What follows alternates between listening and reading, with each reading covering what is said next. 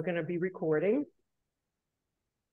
Um, because and norm we always record and we always share the recording um, after the session, but today in particular, knowing that so many of our colleagues may not be with us, um, we are going to um, really promote out the recording of today. Um, so with that said, I really am going to turn it over to Robin to introduce us to our speaker today. Um, and Robin, go ahead. Hi, everyone. I'm Robin Kahn. I, as Marianne said, um, recently joined the Ma'atarot team at Hebrew College. Um, and my work is focusing on professional development for synagogue educators. Um, Susan and I first started exchanging emails probably a year ago. Um, and when we decided that we were going to um, focus on stories, I said, Oh, I have to reach out to Susan. And um, so it's a pleasure and an honor to introduce Susan to you.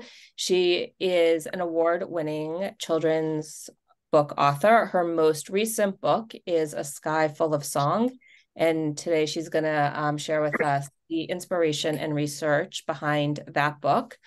Um, she's also written two other middle school historical novels Black Radishes, which won a Sydney Taylor Honor Award, and Skating with the Statue of Liberty. She's also written a few picture books and has won the Jane Addams Peace Association Award, the New York State Charlotte Award, and her novels have been chosen for the Junior Library Guild and PJ Library selections. And uh, a few of her books have even been translated into German and Chinese. And um, she is local to Boston. She's a professor of English and creative writing at Wellesley College. And I'm going to drop the Amazon link to her website um, in the chat um, where all of her books are listed. And Susan, if at some point you want to put your own contact information in the, I guess I can put it in the chat while you're going, but I'll turn it over to you and welcome and thank you for being here. Thank you so much. And thank you for having me. It's a great honor and pleasure to speak to you today.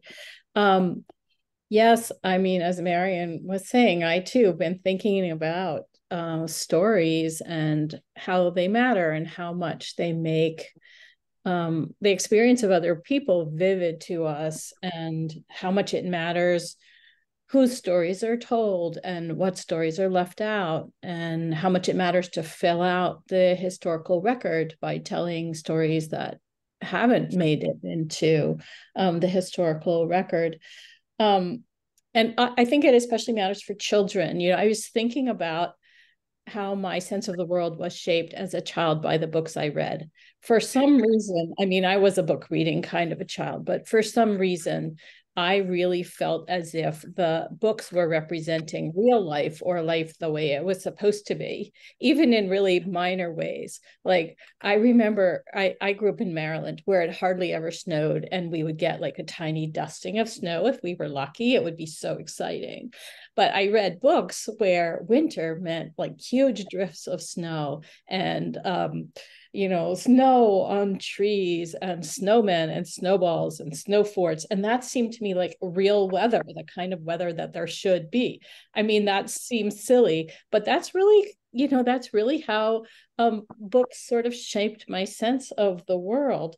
And I think they can shape our world view in more you know powerful and and potentially uh, more insidious ways or more constructive ways as well um so one of the sets of books that I read growing up was the Little House books. Little House, on, you know, here's the Little House on the Prairie, and um, you know now you know very much um, a lot of questioning about her representation of Native Americans in particular, but um, some some people people continue to read these books and they they powerfully shape the way people view the world.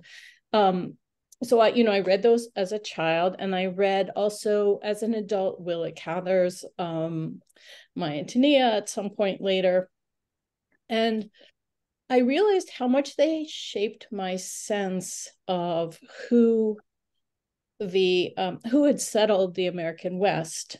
That without my even really thinking about it, I thought of those settlers as white native American born, I mean, bo- born in America. Um, they were actually called Native Americans at the time, but that's confusing. Um, people born in America, white people born in America, and Christians. Um, both uh, Willa, you know, Willa Cather's novel and the Little House books include representations of Christmas. So, without my even really thinking about it, um, I thought of that as the population that settled the West, right? And it becomes in American history a kind of foundational myth of the, you know, the the American settlers, the settlers of America. Again, it can very much be questioned now in terms of the interactions with Native Americans, but that's you know a somewhat later development in our in our cultural mentality. Uh, so I realized I had kind of internalized this myth when the following thing happened to me. So I, am um, you, you to understand the story, you need to know that I'm of a mixed um, racial and ethnic background, and not all of my ancestors are Jewish. So one of my brothers was researching our family history. He's very into that and um, posting things on ancestry.com. And he sent us all out this photograph, which I'm about to show you if I can figure out how to share the screen. How do I do that? I never remember share screen. Yeah. Okay. This um, photograph, and we were all astonished by it because um, Stephen said that's our grandfather, the baby in the little baby carriage. It's a, in Oklahoma, and nobody in our family, nobody knew that he'd been born in a dugout in Oklahoma. So apparently, that's my great grandfather on that in that branch, and that's my great grandmother, but I didn't know that. And, and that's of some kind. And I, I found I looked at this photo, I found it very touching. I love how they've planted the um, irises in front of the dugout there, and that they've you know mustered the dog and the cat and gotten them to join the family for the photograph. Um, you know it's it's touching and interesting and so i posted it on facebook as one does right um and uh, my friends were astonished. You know how you get like the astonishment, you know, reaction on Facebook. And I partly thought, oh, people are paying attention. But I also thought, huh, why is everybody so astonished? And uh, um, I, so I, I, I sort of began to wonder questions like, well, do, obviously a substantial portion of the American population must descend from um, people who homesteaded. Um, so I got curious and figured it out. And it's about 30% or 25% of the American population is descended from people who homesteaded. So that, you know, that couldn't be the reason. If we, you know, we think logically, we'll know that, you know, people are descended from homesteaders, even if they don't know it. Um, and then I realized it's actually because I identify as Jewish and people were thinking Jews on living in you know um, sod houses jews living in dugouts? How could that how could that be? Could that ever have been? And so people were astonished by this photograph i think more than than they would have been um, for somebody else who didn't identify as jewish. Um, well that got me curious about whoops i meant to continue sharing. Um, that got me curious about whether Jews ever did homestead and I began to research that question. And I got very interested in it because I found out that, yes, in fact, uh, Jews did homestead.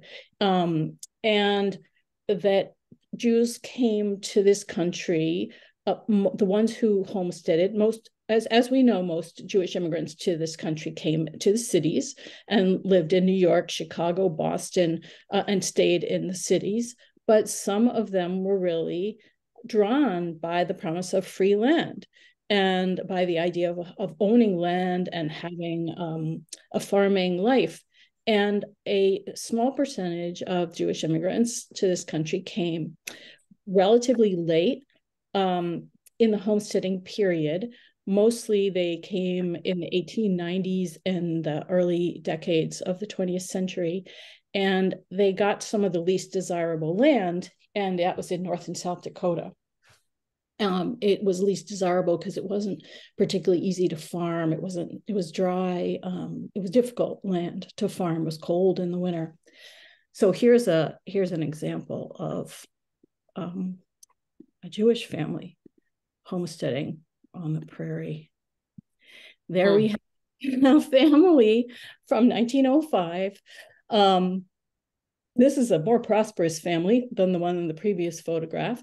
Um, and you know they got two horses and they've got actually a house that's above ground but this is a jewish family from romania um, their names are i wrote this down samuel uh, samuel and hannah schwartz and their daughter and their son-in-law in front of their their house um, so yes, there were Jewish settlers on the prairie, and it's a little known. So once I, I found out about that, I thought, oh, and they've got their dog posing in the front too. I just noticed their dog is is situated there in the front. That's very charming. Um, so I, I got fascinated with this idea of of what that experience would have been like and I read a lot of history, and I especially read a lot of memoirs and listened to oral histories and read transcribed oral histories because those are the best for writing historical fiction because they give you the experiences of daily life.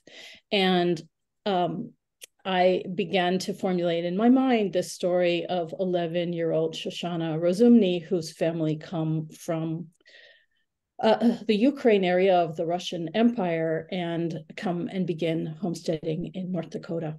And that's how that's how this novel came about. Um, Jews, of course, had particular issues living a homesteading kind of life. Um, in addition to the normal difficulties and the difficulties of getting some of the least desirable land, they encountered um, anti-Semitism from the people around them, sometimes violent anti-Semitism, uh, sometimes less, you know, violent or just, you know, relatively benign. Um, and they had cultural problems. In particular, how would you get kosher food out there on the prairie unless you had um, someone who could prepare the food and the meat in a kosher way? Um, they had more restrictions on the kind of food they could eat than the, than the typical settlers. And, and by the way, only about 25% of homesteaders ever succeeded in proving up their land and stayed farming that land because it was such a difficult thing to do. Um, because the conditions were so adverse and it was just really so hard to keep people alive under those circumstances. So when you add in the difficulties of the food being um, even more difficult, um, that meant probably even a smaller number of Jews remained farming the land. Uh, but also, Jewish families wanted to get a Jewish education for their kids, which required being in a population of Jews, and they wanted their kids to find marriage partners in the next generation, and the kids would grow up quickly, and so they would quickly want to um, be in a larger, more urban environment where they had a larger population of Jews. So not too many stayed um, in their in their homesteading life, but I got really interested in finding out about their experiences and and wrote this novel about 11 um, year old Shoshana. Um, um, I will read you a little snippet of it, and I'll have to show it to you next to that little house on the prairie because I'm like, this is a book we all know, and then this is um, my little Jewish girl on the prairie. And if you look very closely, you can see that there's a menorah in the window of the dugout. Mm. Um, so I love that cover. I, I felt very lucky in the the illustrator of the cover so just to give you a sense of the situation of the story i'm just going to read you a tiny snippet but this is when the family is coming to north dakota the father and oldest brother have gone on first, as often happened. Um, the brother Anshel and the father have gone and, and begun the farming of the land in North Dakota and left behind for three years the mother and four daughters who are Libka, the oldest sister, Shoshana, the second, who's 11, and then Libka's 14, Shoshana's 11, and then their three year old uh, twin baby sisters. And Shoshana has had to leave behind her cat and is very angry with her mother because she had to leave behind her cat. And she thought, why couldn't they bring their cat? They were bringing the most important stuff. What was this about bringing the samovar and not bringing the cat? She thinks that was terrible. So she's kind of angry with her mother. So on the journey, um, there, there are a couple chapters before this bit I'm going to read to you, but on the journey, when Shoshana is in the New York train station, um, she finds a, um, a stray kitten and brings it along hidden in a bundle of pillows on the train trip to North Dakota. And here they are on the train on the last day. Um, okay, my stomach got jittery on the last day as the conductor called stops in North Dakota. If I hadn't had Zissel with me, desperately needing her freedom, I would almost have wanted to go on riding the train forever, to have stayed in this strange world that wasn't any place, just the space in between. We're getting close now, Mama said. Tidy yourselves in the washroom, especially you, Shoshana. I don't know how you managed to get so messy. We want to look nice for Papa. Libka and I washed the babies' faces and hands and sent them back to Mama. Libka turned her back, and I retied the blue hair ribbon she always wore, adjusting the ends on which she had embroidered tiny white flowers, making sure that they hung evenly against her honey colored hair. Then Libka helped me dab at the worst smudges on my dress and work a comb through my grimy, snarled curls. Is this all right? she asked. Yes, she needs to get out, though. Maybe Mama won't care that I brought her once we're there. Maybe I can pretend that I found her in North Dakota. My voice trembled a little. Would Mama be really mad at me? Would Papa? Do you remember Papa and Anshel? I asked Libka, suddenly feeling panicked. The train lurched and the comb caught on a snarl. Ow! Stand still. Of course I do. But Libka sounded less sure than her words. I am standing still. It's the train that's jostling.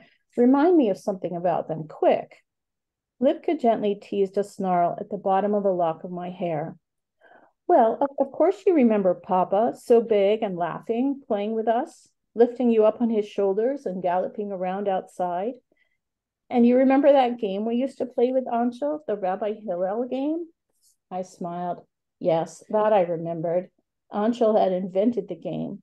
It came from the story about Rabbi Hillel being taunted by a fool. Tell me what is in the Torah while standing on one foot. I picked up one foot and wobbled so much I bumped into the walls of the washroom.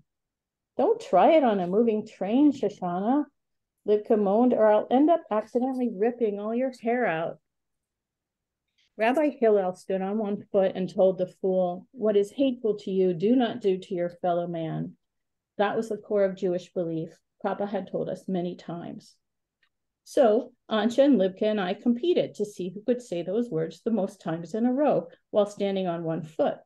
We got really fast at rattling out, What is hateful to you, do not do to your fellow man. What is hateful to you, do not do to your fellow man, over and over again. You got up to 21 once, I said. You were the champion, not 20, 23. And I could have done a lot more. Anshel was so mad because he'd only done 19. So he pushed me over there, your hair is good enough. You'll remember everything when we see them again. I promise. Pearlie leaned her weight across my leg when I slid back into the seat. Papa is nice. Of course he's nice, I assured her. He's our father. Even Mama kept nervously smoothing her skirt and adjusting the flowered apron on her head. There's been an incident earlier about that. It still looked awkward and bunchy to me, like an apron, not a shterntichel. Why did Mama have to tie a cloth over her head anyway? Here in America, most ladies didn't seem to. Instead, Mama could arrange, her hair carefully so the scarred spot wouldn't show and wear an American hat. If Mama hadn't been wearing a shterntichel on the ship, those boys wouldn't have bothered us. The train screeched and hissed to a stop. Shacked in, called the conductor. We clambered out of the train and looked about, bewildered. The day was ending. A few dark buildings rose nearby. but beyond them the prairie spread out, as vast and undulating as the sea. I heard a shout. A big man and a tall, lanky boy ran along the platform toward us. Family, my family, Papa's voice broke. He caught us all up into a huge hug. At last, you're here. So that's the little bit that I just wanted to read to you. Um, I, I could stop and take a few questions here and then move on to the um, the second part of the presentation if anybody has um, a burning question.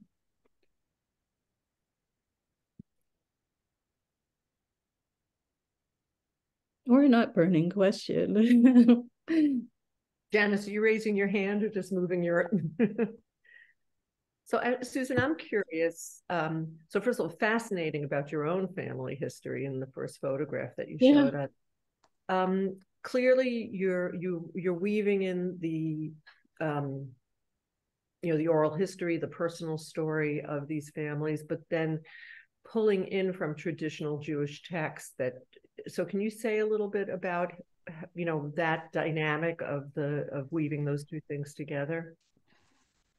Yeah well once i have you know my way of writing historical fiction is basically to try to get the historical situation you know pretty much understood in my head but it inevitably happens that as i read i mean as i write i run into more questions so I, I might be writing, uh, you know, and then thinking, you know, wait a minute, what were they brushing their hair with? Did they have hairbrushes? So then I have to like go back and do some research on that mm. kind of or I made some reference to the baby's diapers. And one of my my writing partner, who is from India, said, I don't think poor people would have had put their babies in diapers. I think, you know, in India, when really poor people just like hold their baby out when they can sense their baby needs to be. So I had to do some research, and that was a mm. hard on whether you know uh, poor Jewish people in Ukraine would have worn put diapers on their babies mm. in 1900. You know that was a tough question, but I did finally find a, man, a mention of it, so I concluded that yes, they did. So you know, I get try to get the history more or less under control, and then I you know sort of let my imagination go, and I see where you know where where it runs to, and it, I end up you know putting at, weaving in you know as you said like just memories of mine that come up or or things i've read um, just stories that seem you know perfect for this situation because I have the father be the one who who talks to the children about Jewish matters mostly and on rare uh, on rare occasions. So they have these memories of him talking about those things. But but that um, episode also weaves in a, a memory of mine from childhood which is completely sort of transplanted here. But I have a, a scar on my elbow. I don't know if you can still see it. That the brother, the same brother who posted the photograph on Facebook. No, it wasn't him. It was my uh, one of my other brothers. I have five brothers and sisters. So one of my brothers, we were doing like a pogo stick jumping competition and seeing who could jump the most times on the pogo stick. And I was beating my brother and he was angry. And so he pushed me over backwards on the sidewalk from a polo, pogo stick. And I got this really bad gash in my elbow. I still have a scar there. So, you know, that memory kind of came up when I was thinking, what could she remember about her brother? Uh, that would be kind of charming, but also realistic for, you know, kids. And, and that memory came up. And then I kind of ended up sort of transplanting on it to the story of Rabbi Hillel because that just came into my head and it seemed like a, an appropriate story. So um, that they might be remembering. So that's kind of how fiction is kind of like for me, it's like this patchwork quilt kind of thing of all these different, um, all these different pieces. Um, and today I was going to actually um, somebody said, Oh, you're doing a writing workshop. And I thought, well, maybe I should do a writing workshop. Sure, because I'm going to talk about, you know, partly one of what things I wanted to talk about today was how can you get children um, understanding how you can understand your own family's history through stories and a, a lot of uh, some of my books like have have really come from family stories so that that is black radishes that was my first novel and that is the story of a Jewish boy in Nazi occupied France. And that comes pretty closely from my father's own experiences, not entirely.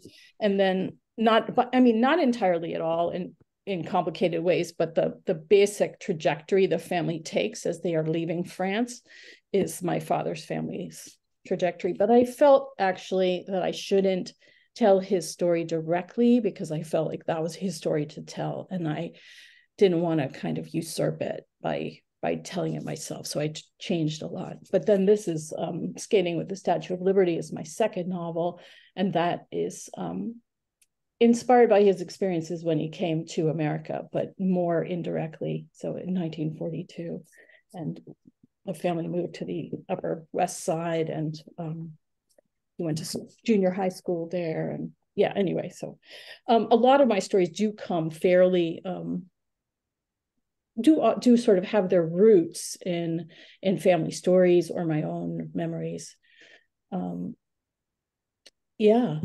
sandra yeah hi thank you so much for this um i am also a author and um, i'm working on a middle grade historical novel i was just wondering if you have um, historical readers, or at what point do you sort of maybe ask someone else who might know even more about that period to look at it? And um, secondly, I was just curious uh, the photo you showed of the uh, Jewish settlers in Oklahoma, if you knew where in Oklahoma that was. I have Jewish settler relatives um, from mm. Oklahoma as well, so I was just curious.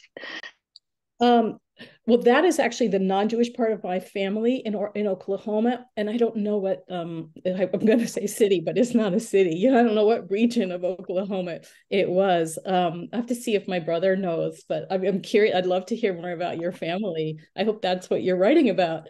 Um, but um, I I have an academic background, and I am so lucky to have access to an academic library. So I feel as if I um, have got um, a lot of access to scholarly history. It makes life so much easier. And I've done, you know, I, I I've gotten a few sources for other friends sometimes because I can get any book in the world on, you know, anything basically brought uh, through interlibrary loan brought to the academic library. So that's very helpful. But still i run into these questions like the diaper one which nobody knows the answer to. So like of course that's not going to be in a book of, of academic history about um you know about anything mm-hmm. you know nobody unless somebody's written a book on the conditions of women's lives in U- ukraine in you know the late 19th, early 20th century, there's not going to be a mention of diapers. But I thought, well, maybe some of my scholarly friends know this thing, these things. So sometimes I have these questions, and then I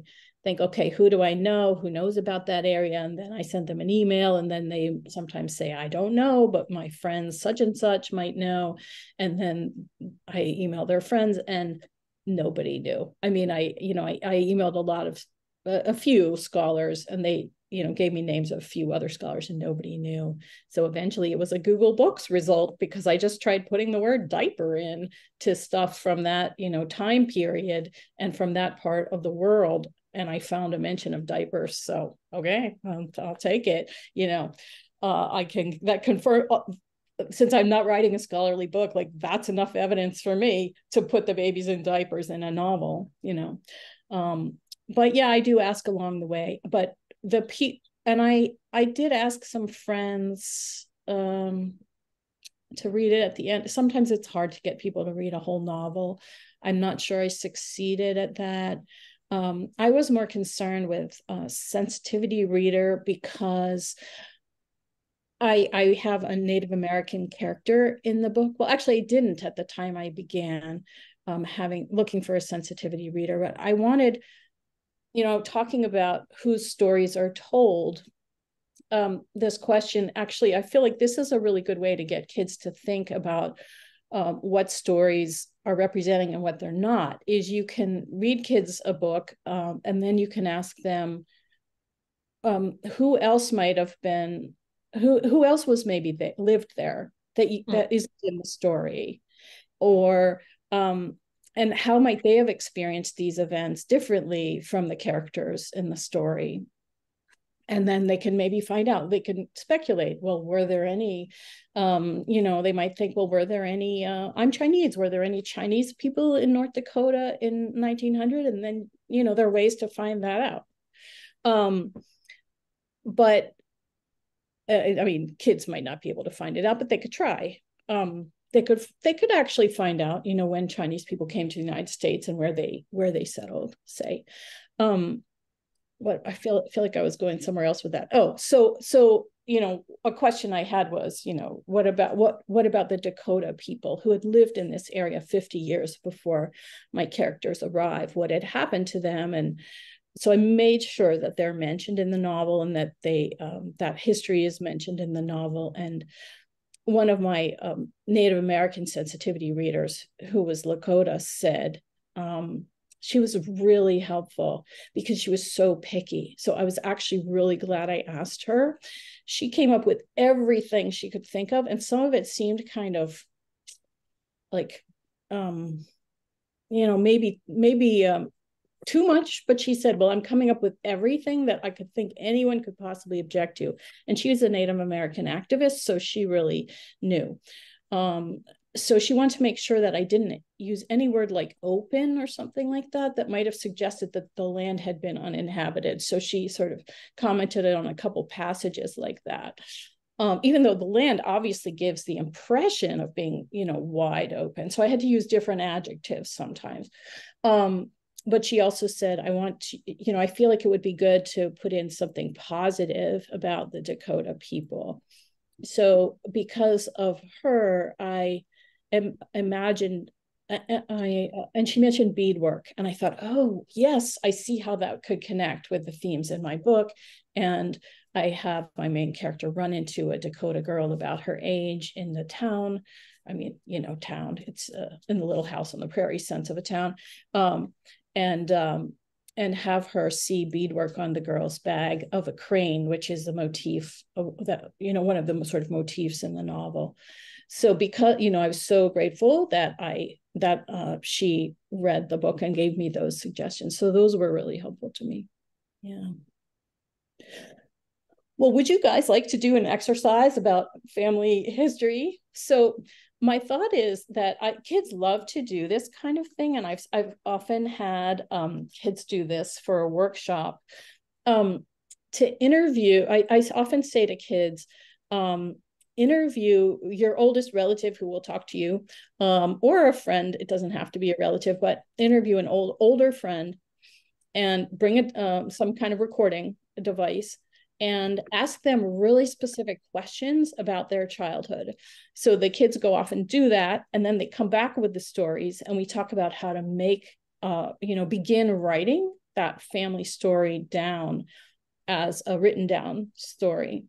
And I feel like this can be a really good way for kids and older relatives to bond because they hear these stories. I often one of my favorite questions I say to them for to get people to talk is to say, "How did you get in trouble when you were a child?" Because often then the, the person will laugh and remember some story of something they did, um, and kids will find that interesting and and um, you know want to want to write about that um, I also say ask really specific questions. So I, I, find that really specific questions get people remembering better. So, like, here's some kinds of things you could ask, like, um, do you have any scars? Where do they come from? you know, what happened when you got that scar? Um, or do you um, do you remember having a best friend at any point in your childhood? I usually ask questions about childhood because I'm interested in children's literature.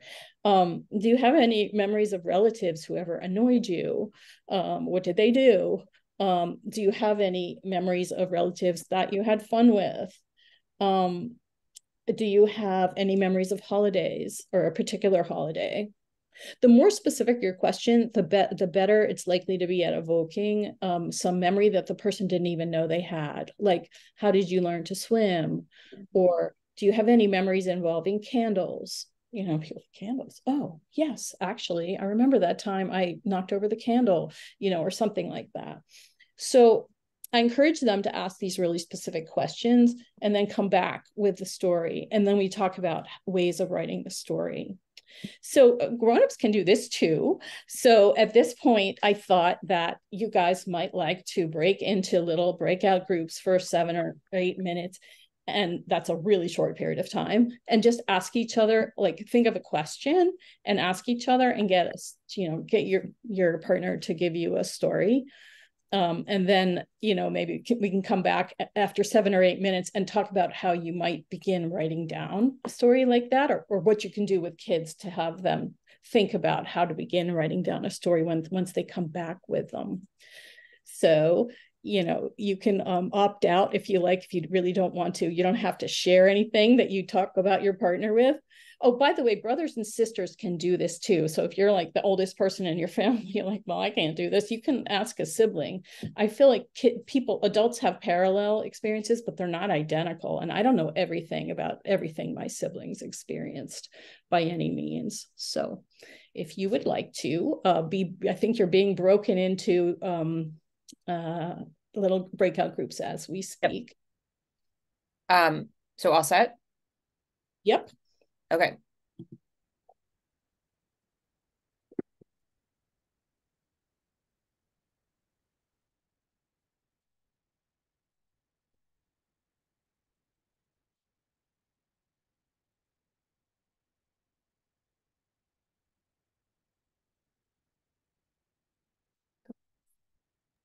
Yeah, Susan, come back to us Um, with this Amy. Is she not there? Is yeah, that maybe I'll move. I'm here. I'm here. Yeah, I'll Yeah. move Steffi into a different room. Okay. Y- Yeah, okay. Great. And you timed them? Yeah, I see you have it. at Yeah. seven. Okay, awesome. Yeah. Those were great prompts. Those were really great prompts. Yeah. I Yeah. love the specific ones because then you hear a story you never heard, like how your mother learned to swim or, or something like that. It can be really fun. Oh, Amy went. So I guess now I need to move. Should I move? Yeah. Like, I thought that could happen. People like, I don't want to do this, and they might leave. I'll move Bridget back to room four.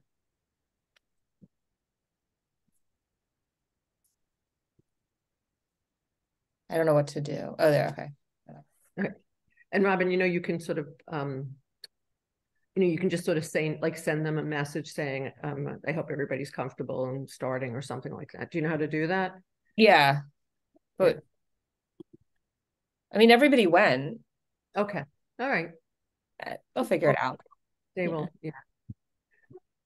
Oh, we have our little plan. Bridget is with uh, Amy. We'll find out. Wait, is Janice, is someone with Janice? Yeah, Margie and Janice are together. Oh, uh, why am I not seeing that Margie's there? Oh, now I do. Okay, got it. Good, good, good. That is the CJP calling. No, it's the CJ. I'm sure they're trying to raise money. They know I didn't sign up to go. They're calling, they say, how come you're not in, on our bus right now? Mhm. I mean, I hope the buses are there. Mm. What time does the march begin? I think they were opening the gates to the mall at 10 and then the rallies from 1 to 3. Yeah, and the schedule of the speakers were like from one to two, so that I saw at some point. Um, Susan, where do you live? Right now, I live outside Boston. Yeah. Which town? Sherborn. Oh, good. yeah, you're at Hebrew College, right? So you're nearby too. Yeah. Wait, did you say you're from Maryland? I am. Yeah. Where? Baltimore. Oh, all right. I'm from Did we have this discussion? We might have. I'm from Bethesda. Where are you? Oh, Bethesda. Yeah. Mhm. Yeah. Did Totally you have different world. feeling as a child like this isn't the right kind of weather? We we should be having No, not at Oh, all. no. No, not at all. Like we had plenty of snow days. And the best thing about the snow days, especially like as we got older, is they would call snow like snow days when there was the forecast of snow. Right. Like but we had like a good amount of snow days and like sledding and hot chocolating and shoveling driveways and we did have snow days, but we didn't get much actual snow. I mean, I remember thinking, you know, going well, going back as an adult and thinking, there's that's not. There's not a snowfall. That's a dusting. You know? Well, now I go anywhere else. I'm like, I cannot believe people are complaining about this amount of snow. like having lived in Boston for so many years. And but the thing is that they're not prepared. You know, they don't. Right. That's the thing. It's Wait. not that there's. It's just the unpreparedness and the inability to get rid of it. And Yeah. the other thing that's I think is a big, big difference between living down there is the schools are all by county.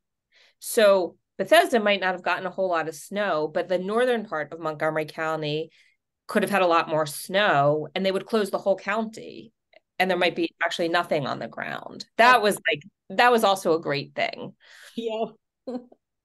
snow days are nice. Um, Mhm. When I started teaching at Wellesley, they never ever had snow days. It was one of their principles. We never closed the campus.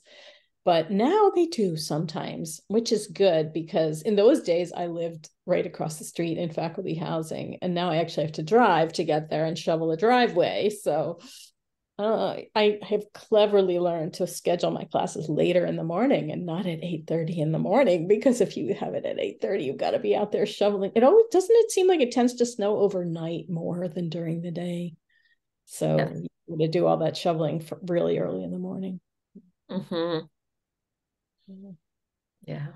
We had these neighbors um and the hill in their backyard went like down and then it curved. It was sort of like an L, but if you missed the curve, you ended up in this like kind of ditchy creek place with like a lot of trees. I cannot believe that my parents let us go sledding there. And they knew we were doing it. I mean, they came with us often. I walked down there as an adult one day just to see like where I was actually sledding and if my memory matched the this hill. And it more or less did. And I'm like, oh my God, I can't believe nobody, like we all survived. like nobody. It's un yeah, like I would not a parent, but I would never let my kids sled where we sled. Yeah, I'm much more careful too than my parents were. I feel like, oh, they had a lot of us, like, you know. No, but it really wasn't. I my mother was actually very careful for the time, but still we did things that I think, well, yeah, I climbed on that neighbor's garage roof. That was fun. I, I remember liking it up there on the garage roof, but nobody knew we were there because we climbed up the backside of the garage. But but still, Marion, you grew up in a city, right? Like more city-ish. Well, I grew up in New York, but in Queens, so it was a neighborhood. Yeah. But did you have hills to sled on? Um, not in my neighborhood, but my cousins uh, lived right next to Riverside Park, which has a big one of those, you know, big dips. Um, which also like, you know, you go down and there's a, a, a fence at the end and you crash into the fence. So yeah, that's where we used to go sledding a lot. Um, yeah, because where we lived, it was very flat. Um, you know so we used to like, you know, we would build snowmen and roll around in the snow and all that kind of stuff. But yeah. I remember trying to make snowmen and the snow would pick up the snow from the grass. So like you, it would become bare after you rolled it. And like that, that's not very, that's not how it's supposed to be. Not what it looks like in the books. Right? So I think they either have 33 seconds or a minute and 33. I don't know I, I never know how it, where they get the countdown. you know, there's a way, My Yeah. guess is they have another minute because nobody came back yet. right. That's my guess. We'll see. We'll see in 15 seconds. hmm There is a way to set it like beforehand to what I whether you- did. I left it at a 60 second countdown, but I don't know whether. I will, we're gonna find out right gets- now. Oh, Here it is. eight minutes. Do you want to close the breakout rooms? So close them now because then they'll get the 60 seconds. Yeah.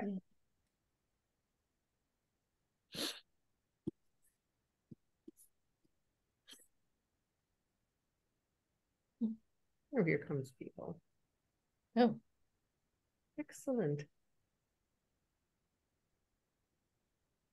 Bridget, we moved you around a little bit at the beginning. I hope, it, I hope you weren't mid. Yeah, I know. I was. I noticed that. I was, of course, in the midst of talking, and then I'm like, "Oh, wait a minute. Where'd those people go? Oh, now here's a new person." it was good. It was all good. We needed to even them out. I was like, "I'll just move Bridget and hope she's not mid sentence." it was a 50-50 shot.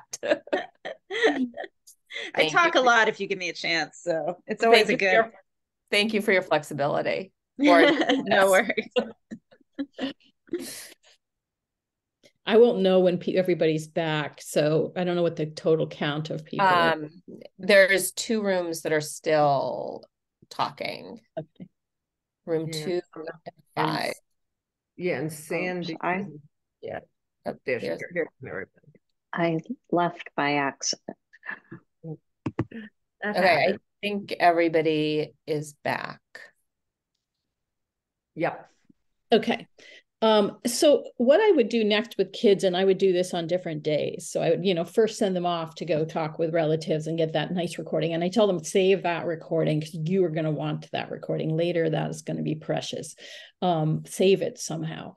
Um, but then, you know, kids come back with material. I hope. I hope you got material in your in your groups, and um, are you know maybe able to think about starting to write one of these incidents down as a story. Um, and I, I don't know what level of experience you all have with writing or whether you write or you don't write.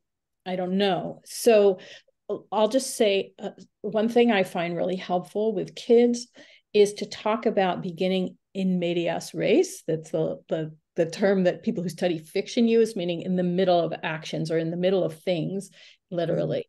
So it can really help to um, think about what would be a good beginning sentence, and then that can really help you to sort of know where to go. So I I do tend to like this kind of beginning sentence myself. So this would be an example. So the first letter, uh, sorry, the first sentence in a sky full of song is at first they only threw tomatoes. Mm-hmm. Okay, so you don't know who's they you don't know what happened next but the idea is that you know it's sort of starting in the middle of it's starting in the middle of um uh, an attack on the market it's a very very very toned down version of what a pogrom would be like but the the, the vegetable market is being you know uh, set in turmoil by people who are throwing tomatoes and then rocks and then people are leaving the vegetable market hurrying away um, so that can be helpful to think about what would be a kind of a good beginning sentence that plunges you into the middle of the action.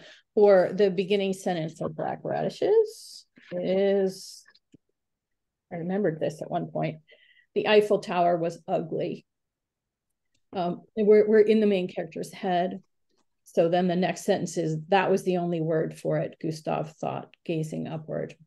It used to soar a vivid red brown up into the sky over Paris. Now it's been painted a different color because of the war. So um, the Eiffel Tower was ugly there. So there, it's not an action so much as what your character is thinking. Okay. Um, and so in, in a case like this you've heard a story uh, you could start with um, let, let's say it's a story about childhood you could start with an in, uh, in medias res sentence that begins with somebody saying something so it could be, you can't play, said Rachel, you're too little. You know, that could be like a way to begin telling your your story or your partner's story. Or um, you can begin with something happening, like uh, Janine crouched on the floor, spinning the lopsided dreidel. Or trying to let's say trying to spin because it won't spin. Let's say. Um, so you know you can begin with something somebody's saying or something somebody's doing but what what people tend to do who are very beginning writers so kids tend to do is feel like they need to begin like setting everything up. And you don't have mm. to that you can just sort of begin the story where things are happening so that's what I would recommend um, as the next thing that you have kids do is think of a, um, a first sentence that could get sort of plunge them right into writing the sentence. And uh, if we had more time, I would have you do that now, but um, I, I think I'm not going to do that because we don't have that much time left.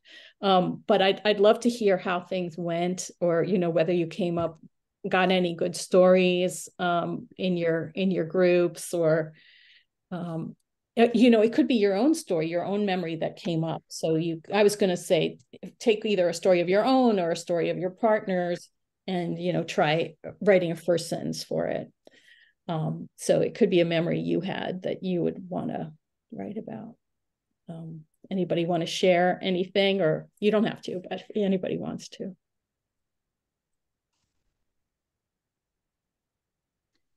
Kind of more talk to, to each other, but go ahead, Sandy.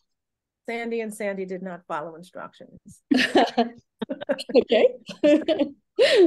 we we just sort of got we, we, we were a we were a, uh, on a date at, at a table and we mm-hmm. got to know each other um and we slightly began to talk about our last uh our recent or one of our manuscripts and how we were doing it so we didn't follow it we're in the we're in the dunce corner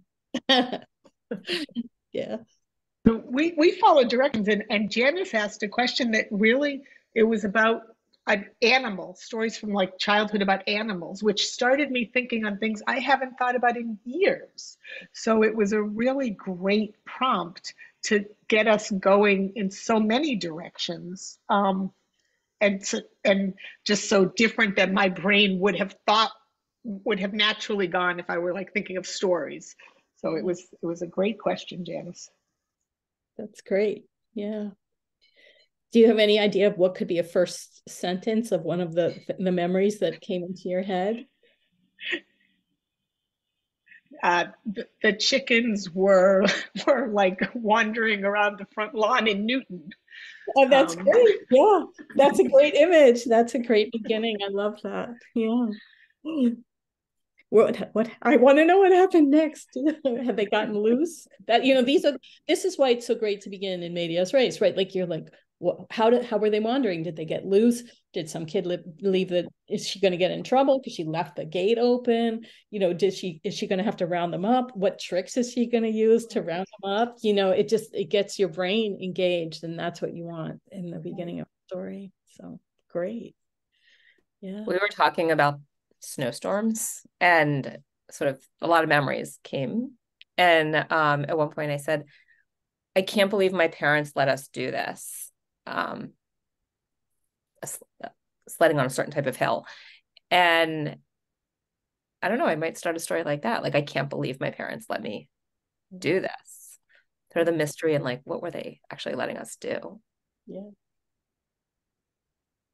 What were they thinking? Yeah. Susan, can I ask a question that I posed in my conversation with with uh, Sandra Feeder?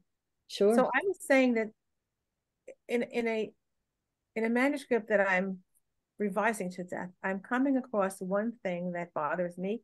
And you brought it up a little bit in discussing that you uh, have sensitivity readers. But um, this is sort of that I'm so sensitive to this issue that I'm not moving ahead with the story. For example, I'll just mention what it is. So I'm writing a picture book about what life was like for a child, for a couple of kids who are the main characters, uh, in a picture book about moving, uh, emigrating to, to Israel from Ethiopia. So I don't have sensitivity readers, but I have Ethiopian Israeli friends who are telling me their own experience before they made Aliyah and their parents. So depending on the village that they lived in, they created the Passover matzah in different ways. So oh. there's not really one answer. So I'm th- when I when I find one inf- piece of information, you know, that's my sensitivity reader, and then I have another person who says it's a different way. So how do you know what the real thing is, and then say I'm I, I'm done. I'm I'm comfortable with what I've written.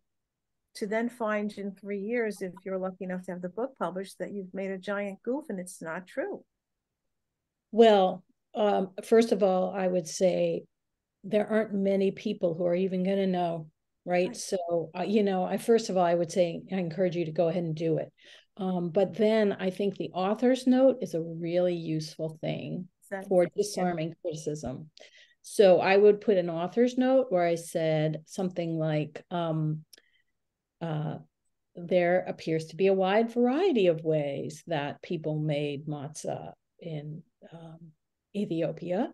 Um, name the person. Person one says this, right. remembers this. Person two remembers that. You know, person three remembers that. In my story, I chose to have this happen because blah blah blah. You know, and and then people can't say you're wrong because that's the person's memory Yeah. Memories are tricky though, because they aren't always correct. It's true, as you were saying. So it's the longer ago, especially if the person was a child and it's a long time ago. And so when I was interviewing um, relatives for black radishes, my my father had a little sister two years younger, and something she remembered a little bit differently from him. Nothing of historical significance, but he also said he um, his family moved from Paris into a, a, tiny village where they had been on vacation in the center of France, where they hoped they'd be out of the way of the Nazis right before the invasion, because my grandmother, my grandfather thought things are getting bad. So um, we moved the family to this little village in the center of France, and it was like a tiny, it's a tiny place. There's tiny, tiny number of houses, dirt roads, and um, my father remembers seeing Nazi soldiers marching down the road in front of the house where his family had gone to disappear and meld meld with the local population and be away from the Nazis. And they marched right down his street. And he said it was the most terrifying thing he ever saw. And the um, the fascinating thing, the the really incredibly lucky thing is that the line that the Germans decided only to occupy part of the country, and they only occupied the northern part and the coastal part at first, and they drew a line across the country, and is practically within sight of the house that they rented in this village. So um, it's right across the river. So they just happened to be on the safer side of the line. But I said, as a grown up, hearing this story, but but that wasn't the occupied part of France. So what were the Nazis doing marching down your street? And I thought maybe he remembered it wrong. Um, but I did some historical research and I found out that yes, they, you know, they did. Well, of course, and when you think about it more deeply, they they conquered the entire country.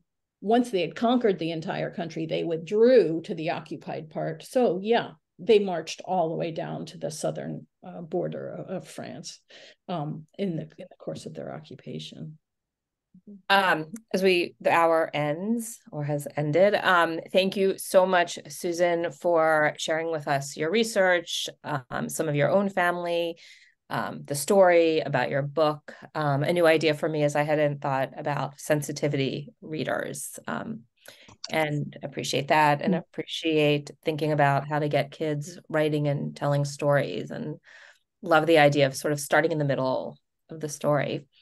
Thank you um, Marian, I believe, just put or is about to put. Oh yeah, she put. Um, our next workshop is December twelfth, Jewish traditional folk tales with Rabbi Ben Rosen. Um, and you can register at HebrewCollege.edu, and I promise we will send you also an email with the registration information. Um, thank you. Thank you, everybody. Thank Thanks you. Everybody. Thank you so much. Thank you. Thank you. Bye. Thank you. Thank you so much. Bye. Today. Have a good rest of the day.